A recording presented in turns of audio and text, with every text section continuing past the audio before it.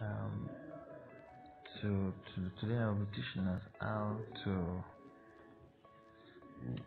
how to copy our address from um, from Trust Wallet.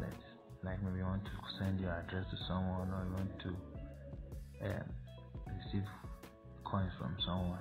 To your Trust Wallet. Is how to do. First of all go to your Trust Wallet. Open your Trust Wallet your Trust Wallet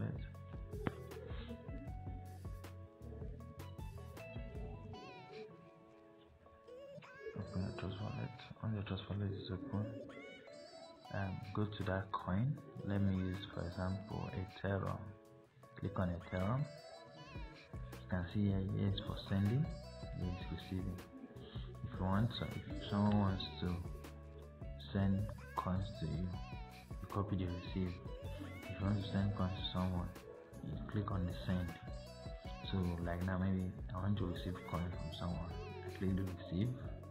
I copy it. And i take it to my whatsapp or to anywhere and paste it. The person will send it to me. The, the person send it to me. If i want to send to someone i go to this send click on the person's address or paste the person's receiving address here. Paste the address here the amount of ethereum i want to send you see the you see the total under it will be calculated then you put continue. The coins will be sent to the person.